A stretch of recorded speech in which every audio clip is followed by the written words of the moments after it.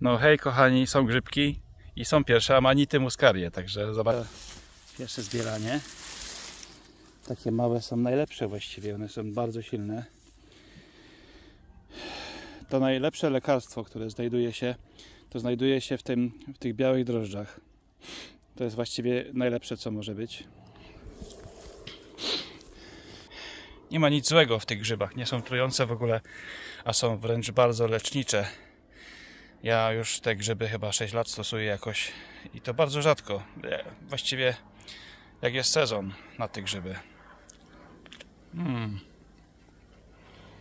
No, Są bardzo dobre. Mm. Niesamowicie regenerują ciało nasze, także mm. Nam, nam. Polecam gorąco.